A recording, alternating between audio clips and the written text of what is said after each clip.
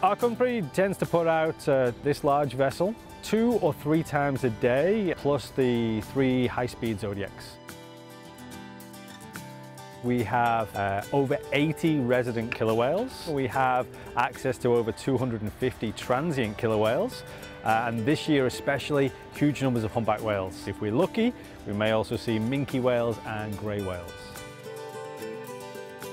The experience with the Marauder 4, with this vessel that we're standing on now, is a much more comfortable experience. Uh, a little more style, there's uh, free drinks on board.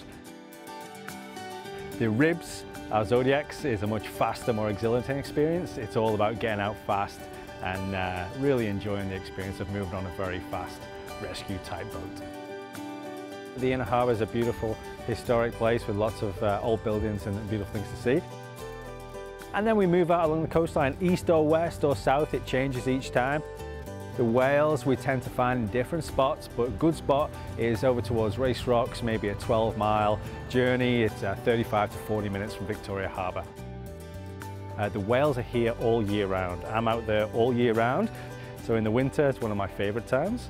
Uh, the weather's a little more challenging, but we tend to get more, more adventurous tourists out here too. Sea lions are awesome to watch. Uh, we have two different types that move through these waters and, and uh, hang out on the rocks and haul out on the rocks. Those are Californian sea lions from here moving south is their territory or Steller sea lions from here moving up towards Alaska. Uh, to get out and see birds, to come and see whales, you can do this all through British Columbia, but it's a huge place. It's only when you get here you appreciate quite how large it is.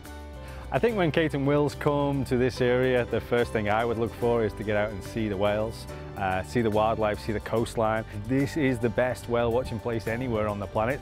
I think there's a history and a connection here that goes right back to the initial uh, colony days. That's stayed and I think the people here are also quite proud of that tradition.